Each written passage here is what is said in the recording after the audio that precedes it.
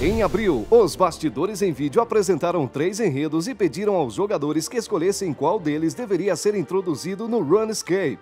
Menos de seis meses depois, a missão vencedora está pronta. E essa missão é.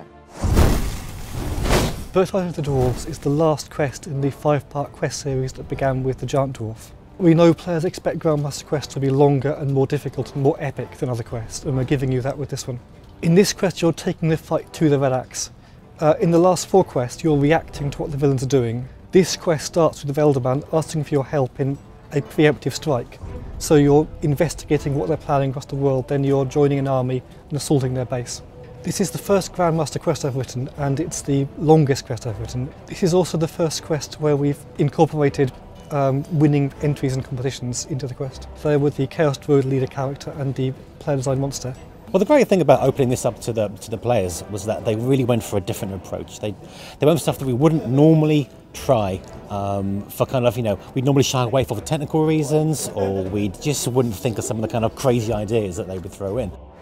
There was also the Lava Flow Mine D&D, which was designed by visiting players in a brainstorming meeting. Picking the final winner for the, uh, the, the, player design concept was really tricky. We, we, we sat in a boardroom with all the key creatives on a massive projection screen and went through the initial you know, hundreds of concept art we had in. We whittled it down to around the top kind of five and uh, we ended up voting on our favourite one of those five. Uh, we came around eventually to the, the Chaos Druid and the uh, Chaos Giant. Once the characters had been chosen, we moved across to our concept art department and we started working up the, uh, the concept art to a final stage. And we found that we, at one point we were overworking it and we lost the kind of initial feel of that character art. So we took a step back and kind of moved proportions around a little bit, did a little bit of polishing work and we had the final concept art. We've already seen a few redesigned dwarves in content that's been released. Uh, with this quest, we're rolling that out to all dwarves in the game, whether they're involved in this quest or not.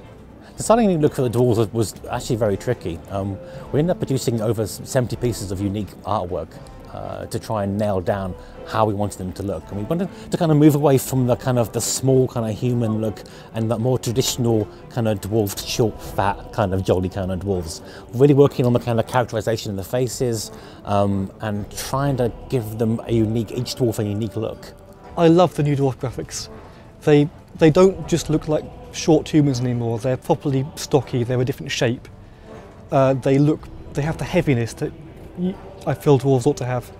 But it was a very huge project. We've been working on it for like two or three months, I think. We have created many models uh, for this update, and we have, I think, about 350 models added to the to the existing content. You can expect plenty of updates in the future. Unfortunately, I can't talk about any specifics, but the whole team is working hard on updating and reworking all the NPCs and adding new content to the game.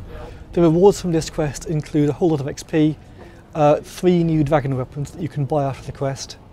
Uh, you can fight the new monster that players designed.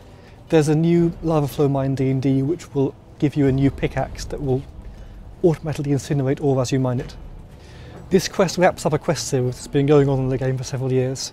The way it wraps it up uh, depends quite heavily on some choices the player can make at the end of the quest. And whatever choice you make at the end of the quest, you get some cool rewards. Samoraquianos e Saradoministas estão em guerra há meses.